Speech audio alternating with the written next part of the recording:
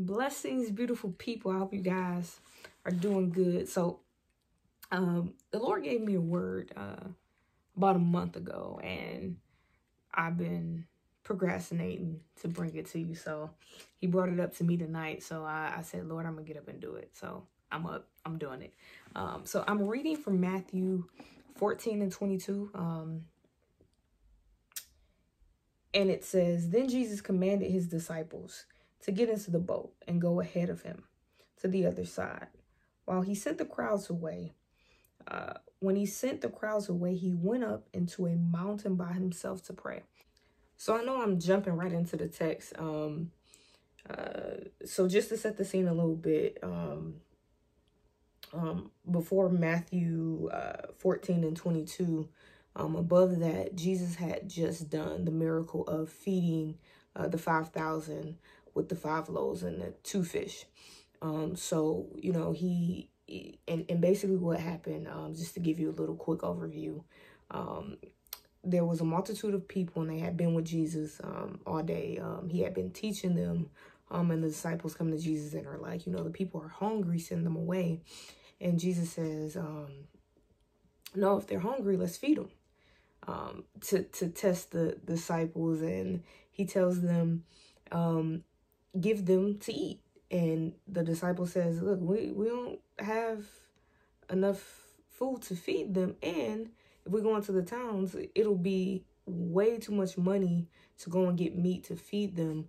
Um, and we don't have that kind of money to feed them. Uh, and then Jesus took what they had in their hand, which was um, the five loaves and two fish. He took it, blessed it, um, lifted it up to heaven, up unto God um, and was able to feed the 5,000 and had uh, extra food leftovers. He had leftovers for him. Um, so um, he was able to do that. So before we we uh, get into the text, I know I started with uh, uh, right into the text. So I just wanted to give you guys a quick little synopsis of what is going on um, and why he sent away the crowd um, and and the disciples um, so that they can get to the other side he himself goes off to pray.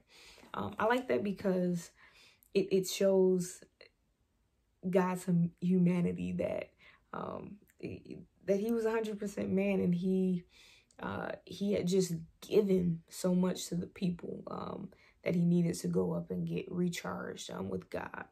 Um, so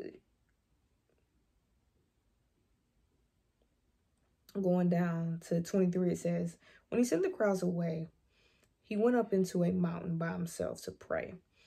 And when evening came, he was there alone. But the boat was now in the middle of the sea, tossed by the waves, uh, for the wind was turbulent. During the fourth watch of the night, Jesus went to them, saying, walking on, wait, Jesus went to them walking on the sea. But when the disciples saw him walking on the sea, they were troubled, saying, It is a spirit and they cried out in fear. But immediately Jesus spoke to them, saying, Be of good cheer. It is I. Do not be afraid. I love that because I've had times in my life where um, I'm, I'm in my place of safety, safety and I feel overwhelmed and, and fearful. I, I If I could equate this to um, a personal experience, um, because how I envision it, and I'm a, visual person, how I envision it is they're on this boat, they're in their place of safety. And then all of a sudden, as they're uh, in their place of safety, um, wind comes and um, it, it comes to kind of distract and disrupt what God is trying to do. And their goal is to get to the other side. And wind is coming, so it's causing a little chaos. And then they see Jesus coming and they be they get fearful because they didn't recognize him. Um, I've had moments in my life where um, I'm uh, the perfect example I could give is um, having a panic attack. I'm on the way to school um, one day and I'm driving. Um, so I'm in my car in my place of safety and like panic comes over me as the disciples in the wind um and i feel like i'm like i'm i'm my place of safety that i'm in i want to get out because I'm I'm panicking like, oh my goodness, I'm about to lose it. And I'm fearful when I began I be in that moment I began to cry out to God, just like the disciples in the scripture, they cried out to God. And as he spoke and he said to them, Don't be afraid, it is I. He spoke and he said to me, Listen, I'm with you. You calm down. I, will never leave you nor forsake. He began to remind me of his word.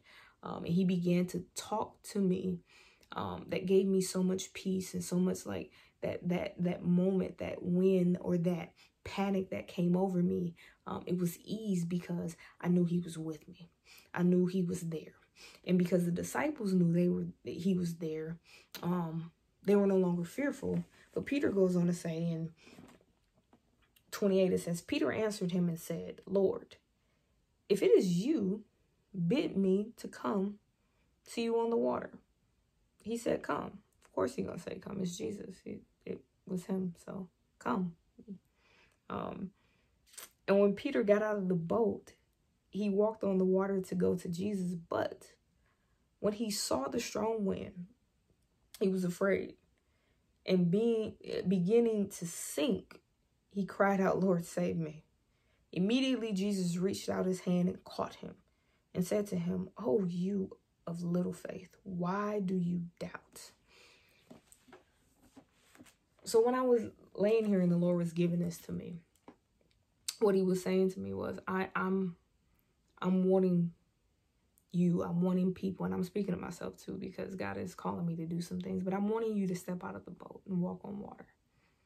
See, our boat is our place of safety. It's our place of comfort. It's our place where we feel like nothing can get to us. It's it's it's this is my cool place where I'm just going and and our place of safety could be anything uh, if if god is calling you to do a business your place of safety could be your job and outside of your job could be that business but in our place of safety, in our place of comfortableness, we may be fearful to walk on water. The, the water could be that business.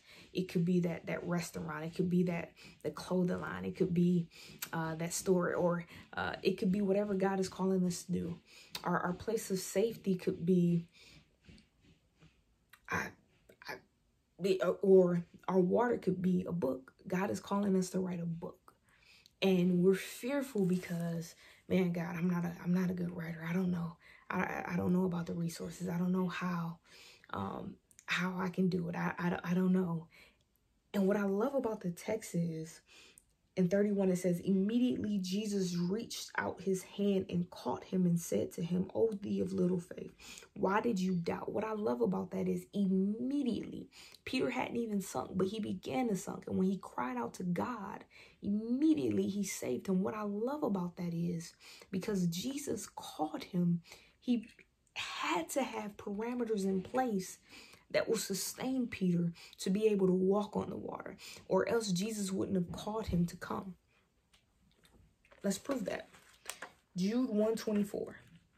So because Jesus called him to come and walk on the water, Jesus had to have an ability that would sustain him and give him the ability or the strength to be able to walk on water. Jude 1 24 says, Now to him who is able to keep you from falling and to present you blameless before the presence of his glory with rejoicing. Listen, God is able to keep you from falling.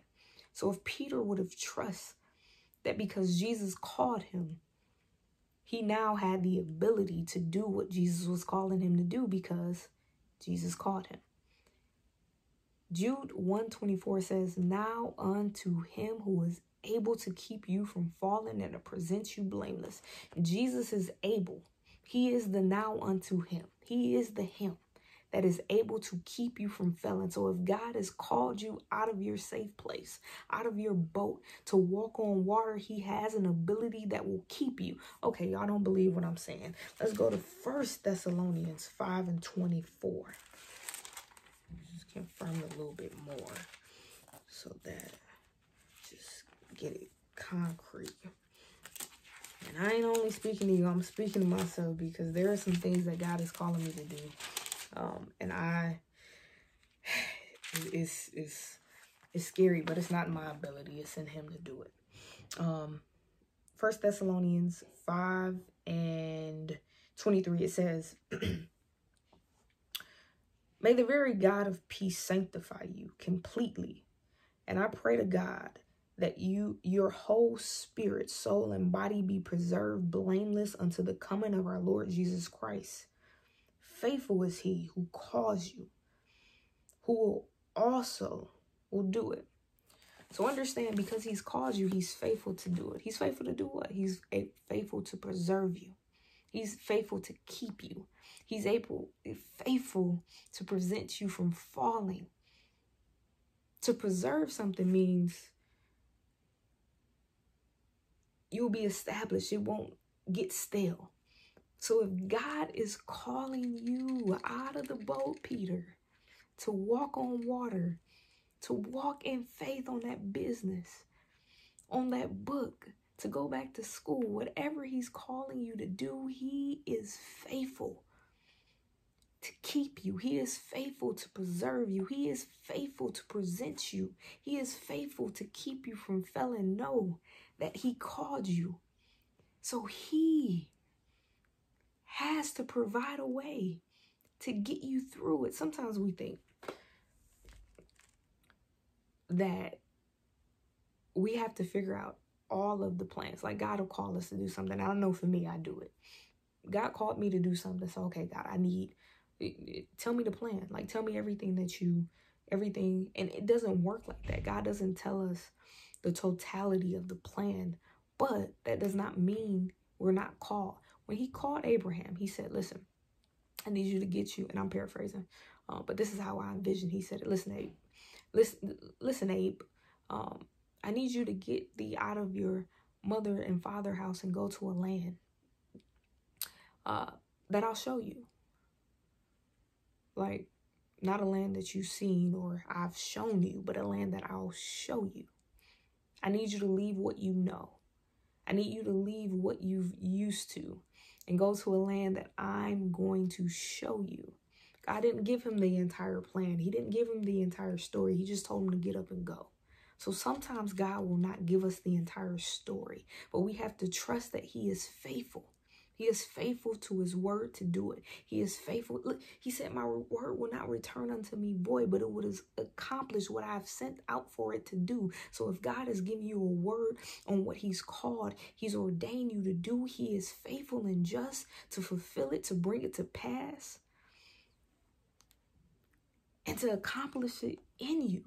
So you have to know that if God is calling you to walk on water, to get you out of your place of safety, to start that business, to start that restaurant, to start that clothing line, to, to go to school, to, to go to nursing school, to go to hair school, whatever it is he's calling you to do, he will provide everything you need to do it. He'll provide the resources, he'll provide the people, he'll open the doors, he'll make the way. He just needs you to trust what he's doing. This is a partnership and a relationship, and in a relationship, it's not one sided. We have a part to do. We and our part may not be a big part, it may just be a small part, it may just be getting out of the boat getting out of the boat. And to some, that's a big thing to do, but it may just be doing the research, finding out what it takes to start a business. It, it, it may be, it, I don't know what it may be, but God does. And if you feel God tugging on your heart to do, to, to get out of your safe place, to get out of the boat, and to walk on water, trust that he'll provide everything you need. Everything you need. That there there won't be anything that he won't provide uh, because he called you to do it. And if he called you, oh, he to preserve you. He is faithful to do it. He is faithful to do all that he calls you to do. So I just wanted to come on and share what the Lord placed on my heart. Um, know that God has not given us a spirit of fear, um, but of power and of love and of a sound mind. So we have power, we have love, and we have a sound mind. Um, in our inability, in Jesus, we have an ability to do what seemingly is impossible. And uh, God would always provide a way uh, that we're safe. Um, the scripture confirms that um, so many times that um, he, he he he's covering us and we're in his hand and he'll make a way. Um, so know that if he is tugging on your heart, if you feel God calling you to do something um, that seemingly is scary, trust him. When he says come, come, go. He's calling you. Go. And know that he'll make a way for you to do what he calls you to do. Be blessed. I love you. Um, have a good night, guys. I'll talk to you soon. Bye.